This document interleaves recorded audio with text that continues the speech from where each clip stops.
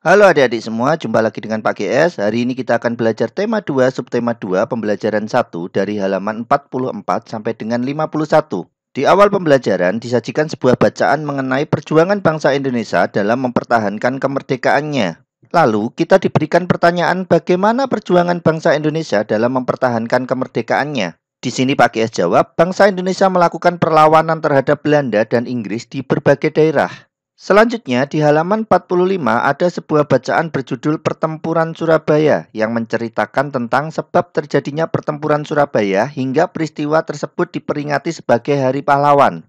Kalian baca sendiri dengan teliti ya. Kemudian kita diminta untuk melengkapi peta pikiran dari bacaan di atas. Di sini Pak Kies jawab, Peristiwa apa yang terjadi pada bacaan di atas? Mengapa pasukan Inggris menggempur Surabaya? Siapa pemimpin sekutu yang datang ke Surabaya? Bagaimana cara pasukan Inggris menyerang Surabaya? Kapan peristiwa pertempuran Surabaya terjadi dan di mana pertempuran 10 November 1945 terjadi? Kemudian di halaman 46 kita diminta mengembangkan peta pikiran tersebut menjadi sebuah kalimat. Tetapi sebelum itu kita diberi penjelasan mengenai ciri-ciri kalimat efektif. Ciri-ciri kalimat efektif yaitu memiliki unsur penting atau pokok, menggunakan struktur bahasa yang tepat, memenuhi kaidah ejaan yang berlaku, serta menggunakan pilihan kata yang tepat. Untuk lebih jelasnya, simak video pakai S tentang penjelasan mengenai kalimat efektif. Link video pakai S taruh di deskripsi ya. Kemudian pengembangan peta pikiran di atas pakai S contohkan. Pertempuran Surabaya diawali terbunuhnya Brigadir Jenderal Tentara Sekutu yaitu AWS Malabi. Lalu pada tanggal 9 November 1945, Inggris mengeluarkan ultimatum akan tetapi ultimatum tersebut ditolak oleh pihak Indonesia. Sehingga pada tanggal 10 November 1945 terjadilah pertempuran dahsyat antara pemuda Indonesia melawan pasukan sekutu. Peristiwa 10 November ini diperingati sebagai Hari Pahlawan.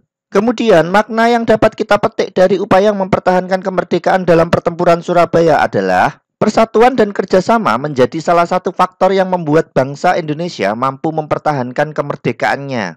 Nah, jika kalian punya jawaban sendiri, silahkan ditulis ya. Selain pertempuran Surabaya, ada pertempuran lainnya di berbagai daerah dalam upaya mempertahankan kemerdekaan Indonesia, yaitu ada pertempuran Ambarawa, pertempuran Medan Area, peristiwa Bandung Lautan Api, agresi militer Belanda 1, dan agresi militer Belanda 2. Coba kalian cari informasinya ya.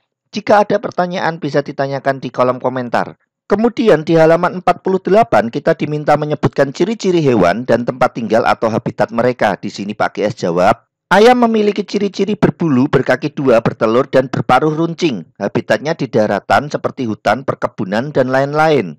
Bebek kakinya berselaput, paruh berbentuk sudu, bulu berlapis lilin, dan bertelur. Habitatnya di darat maupun di air dan di daerah berlumpur. Ikan bernafas dengan incang, mempunyai sirip, memiliki sisik dan berlendir. Habitatnya di perairan, baik di air tawar maupun di air asin. Cicak memiliki ciri-ciri kaki skensor, lidah lengket, autotomi, habitatnya di rumah menempel di dinding. Lalu, apa hubungan antara habitat dan ciri-ciri makhluk hidup tersebut? Ternyata, habitat makhluk hidup sangat mempengaruhi ciri-ciri suatu makhluk hidup. Setiap makhluk hidup akan beradaptasi dengan kondisi alam di habitatnya. Sehingga ciri-ciri makhluk hidup disesuaikan dengan habitatnya dengan tujuan untuk bertahan hidup.